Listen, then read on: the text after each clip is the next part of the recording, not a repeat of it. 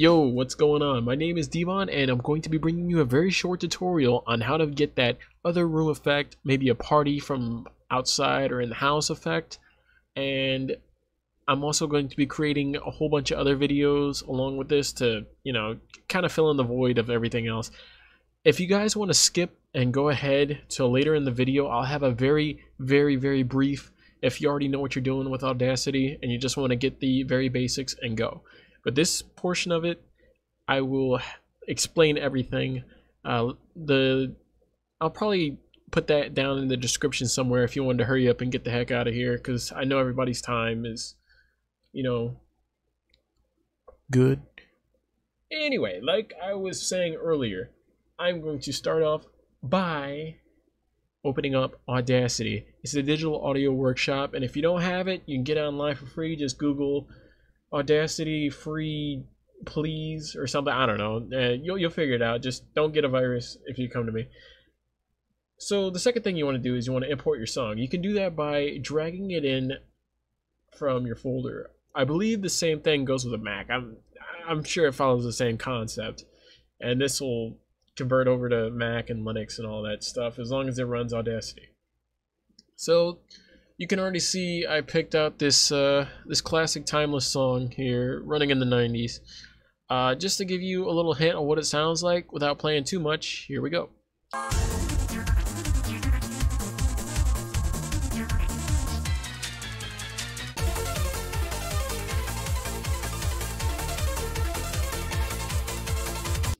Okay, crisp, clean, you get the point, right?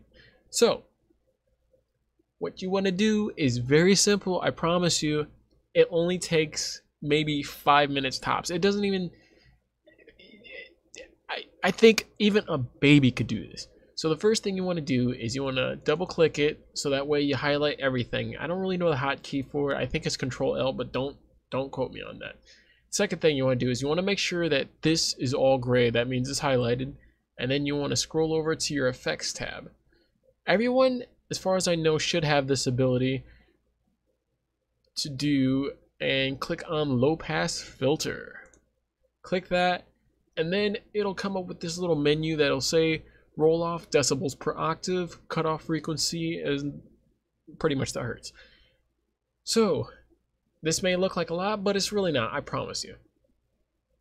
So I'm going to tell you my preset. My preset that I normally do with a song is 36 decibels, and the cutoff frequency will be 1500. Go ahead and click enter OK, whichever you prefer. Let it load up. As soon as it loads up, let's take a listen to it one more time with it being high quality.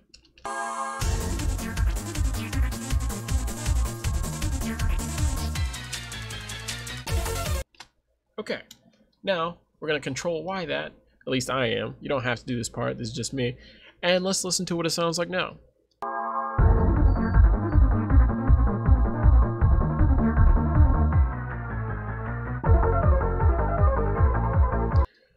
Okay, that doesn't sound too bad, right?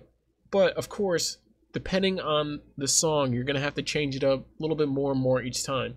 So what you can do is you can keep going back, go to the effects, go back to low pass filter, and this time I'm gonna do it 12 and this time I'm going to do 500. This is all experimentation from here to get the one, or to get, pretty much to get the way you want it to sound. It, it varies.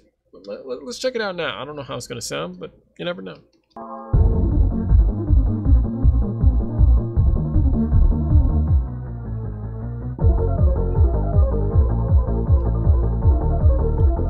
I think that sounds pretty dang good. Uh, let's let's go to the breakdown of the song. Let's see how that sounds.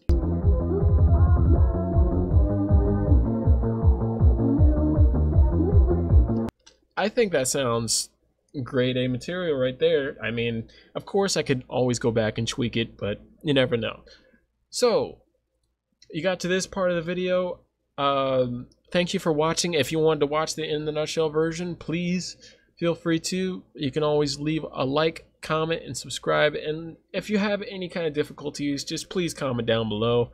It's only going to take me a couple seconds to read it as long as I get back to you. I can't say that I'll get back to you immediately, but I'll do my best to get back. So now we're in the in the nutshell version. So you pretty much know how to use Audacity, thick and thin. I won't say thick and thin, but first thing you want to do is, of course, import your song. Wait for it to hurry up and uh, wow, that took forever. Anyway, go and double click it. Select low pass filter. Choose 36 here and choose 1500. So roll off 36, cut off 1500. And then it should sound something like this.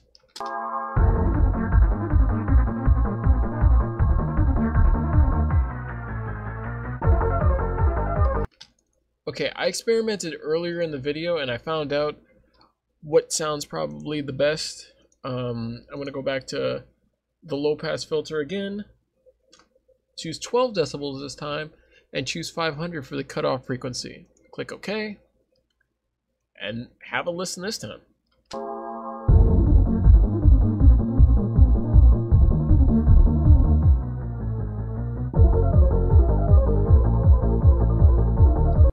That sounds like somebody's in the other room. Let's hear the breakdown of it.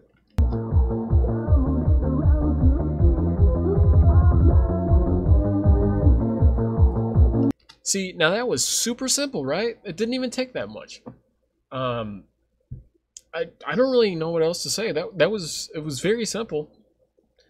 I'm surprised a lot of people don't know about this. I'm actually happy that I could teach y'all how to do this. Super simple. I guess I'll keep doing these videos because they don't really take that much time to do, and they give you kind of a sense of satisfaction if you get them done. So without that, um, yeah, just thanks for watching. Please like, comment, rate, subscribe, and if you have any questions, feel free to comment it up. I will definitely listen to any questions that you have if you need anything that's regarding this. Without further ado, I bid you goodbye. See you, nerds!